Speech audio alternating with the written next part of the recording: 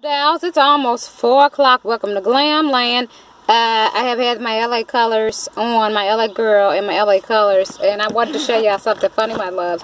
Why is my LA girl pro coverage, honey, on his last leg? I got this on March the 9th before uh, my cousin's birthday. Her party was March the 10th, so I, I know I bought it somewhere up in there. Today is May the 5th, and I have actually used this almost every day since I gotten it, to be honest with you. So this did pretty good, 0.95 fluid ounces. It really do give you some nice coverage, and y'all, this is really, really, really freaking budget friendly. I ain't gonna lie, I love it. Mine is in the color GLM 651 in the color bronze. And this is my makeup bag. I'm out at the retreat. But most of the time i don't even keep my concealers and stuff in here. But this is the other girl stuff. But most of the time in my makeup bag i've had my makeup on since about nine. Nope since before nine this morning because breakfast is at nine. Look at the powder. See powder don't powder can survive the sun for the most part. It's been out in the sun. I'm hitting pan on my mineral powder this is my Ruby Kisses mineral powder and golden honey and warm caramel. But I just wanted to show y'all that I still got the face on and uh, Ina is still holding up. I like her. I'm glad I actually chose to wear her today. With the exception of I think next time I'm going to pluck the part a little bit to give it a little more oomph. And um yeah, I just wanted to show y'all that I so far I ain't even had to go in and touch up nothing. You see that? I ain't touched up nothing. Not even my lip because we've been eating and drinking and having snacks and stuff. Not drinking liquor because it's a uh, it's a church a retreat at the church. But uh, I just well, I, I really like it. I really really enjoy it. But uh, look, girls. I'm going to do a review on this LA Colors CBE 543 palette. This is in the color. This the name of this palette is Beauty.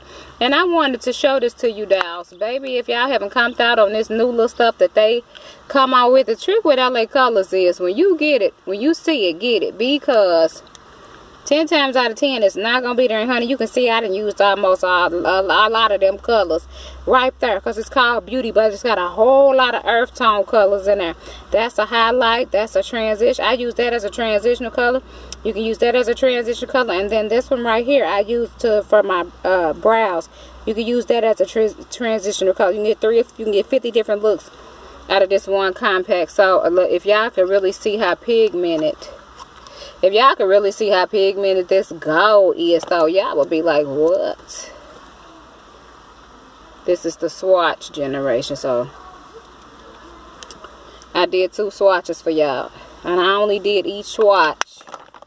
And I only did each swatch one time. There's one and there's one. You see all of that gold in there like this is my color gold it's actually almost like the kiss gold that i have been looking for uh, that I couldn't find it because what I like to do for real is take this and mix it with an orange for the summer look and put like a brown on with a little bit of faint orange. I'm going to give y'all some shadow looks for the summer. But I wanted to show y'all this is a really good palette. This look that I'm, uh, I look I'm giving y'all today is with this $1 palette.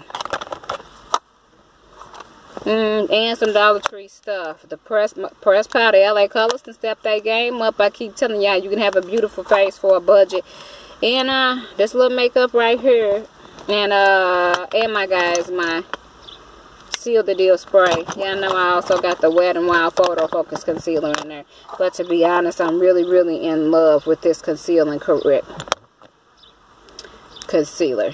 It works kind of like how I like it. It don't get as thick under my eyes and that's what I like about it that it don't get as thick I am on this retreat honey enjoying myself so I'm actually having time to wear it test it in the sun it's heat proof for the most part so I wanted y'all to see it up close I haven't buffed anything but you know how I did it this morning. Buffed it, buffed it. That's your purpose of buffing it. Buffing it, buffing it, buffing it, buffing it.